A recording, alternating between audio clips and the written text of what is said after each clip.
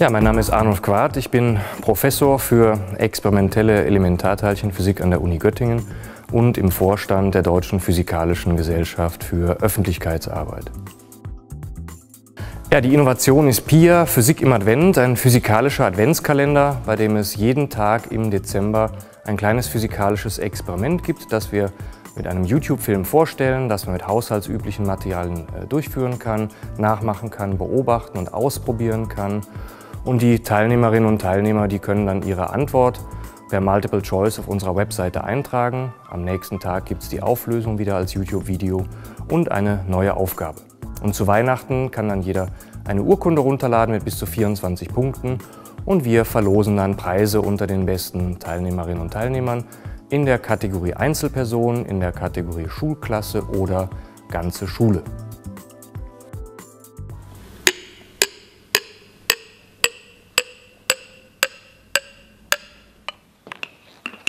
Ja, die Hauptzielgruppe sind Schülerinnen und Schüler in Deutschland, Österreich und der Schweiz. Wir wissen aber, dass auch Lehrkräfte sehr stark an dem Programm interessiert sind und davon profitieren.